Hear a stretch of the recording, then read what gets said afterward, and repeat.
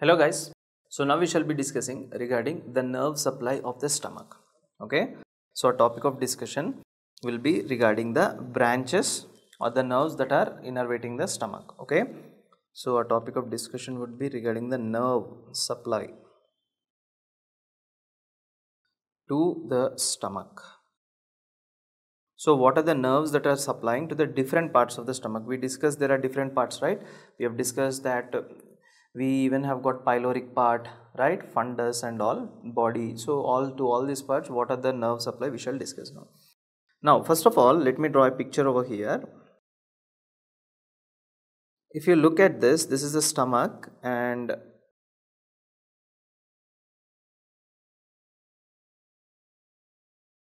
this is the stomach over here and here exactly you have got two types of branches. One is called as anterior vagal trunk and on the back of this you have got posterior vagal trunk. So this is an anterior picture.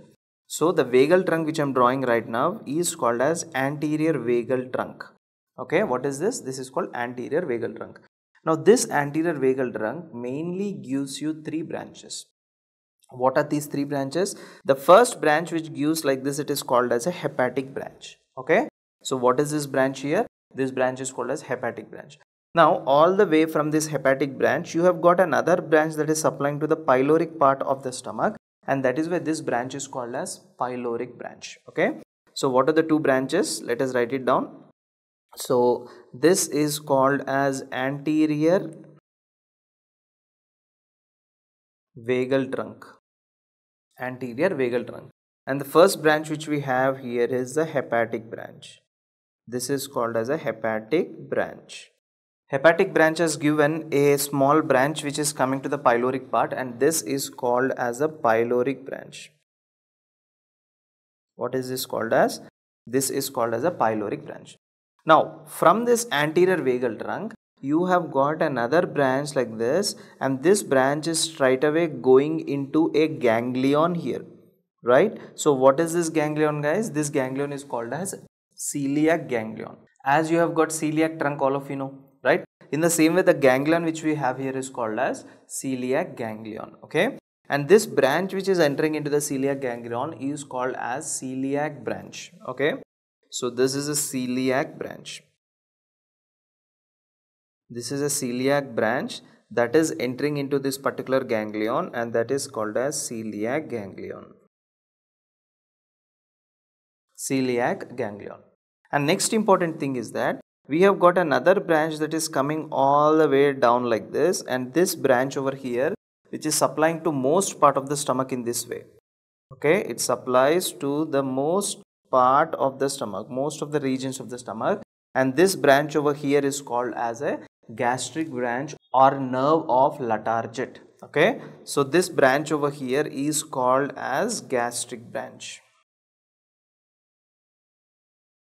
gastric branch or you can call this as nerve of Latarjet nerve of Latarjet so these are the branches here which you can see on the anterior side. Now once again guys, so on the anterior side what are the branches, different branches you have got? The first main trunk we have to discuss, the main trunk is called as anterior vagal trunk. Okay, this anterior vagal trunk, this anterior vagal trunk gives out some branches. First important thing, it gives out a hepatic branch. Okay, it gives out a celiac branch here.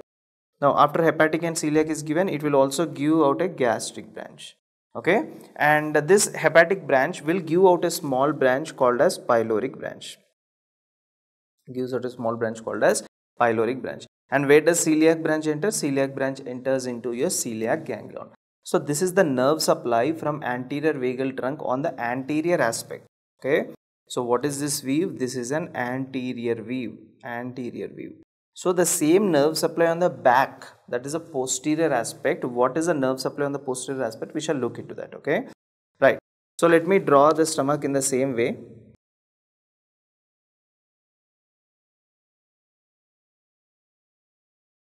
Now, coming to the branches on the posterior side.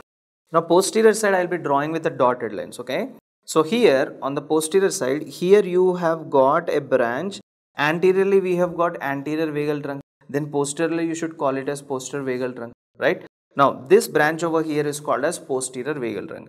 Now this posterior vagal trunk gives out a branch like this and this branch all of you know again this branch is entering into the same celiac ganglion where the celiac branch entered there right? And what is this branch?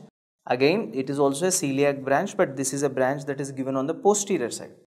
That was a celiac branch which was given on the anterior side and this is a celiac branch which is given on the posterior side. And next. And next there are no more branches here so it will give one last branch all over the place like this right? So these branches they supply in this way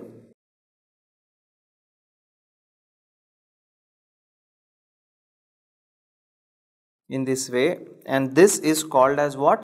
Previously what do you call these branches? Do you call these branches gastric branch or nerve of Latarjet yes now also you have to call the same.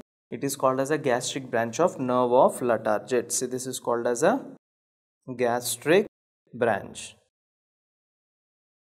Or you can call it as nerve of Latarjet. Okay, you can call it as a gastric branch or the nerve of Latarjet. Clear? Right. And what is this branch over here? This branch is called as the celiac branch okay what is this called as this is called as the celiac branch and this ganglion over here is called as the celiac ganglion celiac branch and this ganglion over here is called as the celiac ganglion and next important thing you have to know is that one additional and special branch that is coming out like this right there is one special branch that comes out in this way on the posterior side itself and this branch you call it as nerve of Grassi What is this called as? This is called as nerve of Grassi Nerve of Grassi Okay. Right. By the way, what is the name of this main trunk called as? Main trunk is called as anterior vagal trunk or posterior vagal trunk. It is called as posterior vagal trunk. Posterior vagal trunk.